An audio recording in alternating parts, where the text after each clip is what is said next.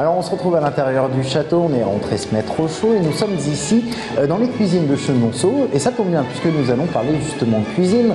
Les fêtes de fin d'année riment souvent avec prise de poids puisqu'entre le foie gras, le saumon, les bûches de Noël et les plats de résistance, difficile de ne pas prendre un tour de taille. Pourtant, il est possible de se faire plaisir en restant léger. Euh, les cours de cuisine se sont d'ailleurs emparés de cette problématique. Exemple à l'atelier Tour à table, c'est un reportage de Félix Ségère. Dans les desserts, le fait d'utiliser des épices, ça nous évite le sucre. De la cardamone pour remplacer le sucre, des épices à la place du sel et des portions réduites, c'est la recette miracle pour un repas des fêtes allégé. Mais sans se priver, apparemment, c'est possible. L'idée d'un repas de Noël, c'est de se retrouver en famille, c'est de passer un, bon moment, de se faire du bien avec des bons produits, donc de jouer sur la qualité des produits qu'on a, mais de sortir de ce repas aussi en étant bien et non pas en se pénalisant, en se sentant mal, en ayant du mal à digérer, en ayant du mal à dormir et en se disant encore un repas de Noël, j'ai pas envie d'y aller.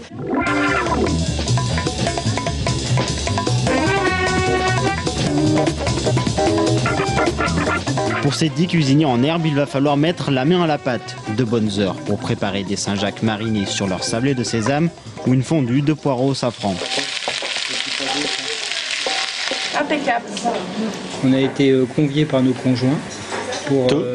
te. nos conjoints pour organiser le repas du Nouvel An. Donc euh, voilà, donc euh, on est euh, on est On est euh, préposé. on est préposé pour organiser le repas du Nouvel An. Donc voilà, c'est pour ça qu'on est là ce soir. Moi, je trouve ça plutôt bien. Ça fait bizarre, bien sûr, dans le groupe parce que on est les seuls jeunes, quoi. Mais euh, enfin, moi, j'ai trouvé ça super bien. Les cours de cuisine sont en vogue et ils attirent des personnes de tous les horizons professionnels. L'allégé fait recette 32 euros la soirée pour apprendre à diminuer les graisses.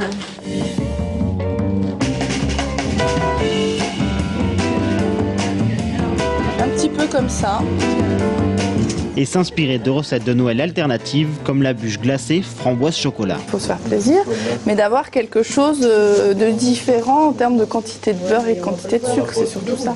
Et là, il n'y a pas une goutte de beurre dedans. Le nappage est au blanc d'œuf et pas de crème pâtissière.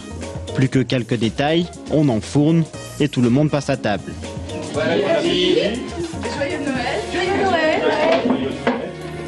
Au niveau du palais, tout le monde semble conquis. Il ne reste plus qu'à faire de même à la maison, car au soir du réveillon, foie gras et chocolat risquent bien de ruiner, une fois de plus, toutes les bonnes intentions.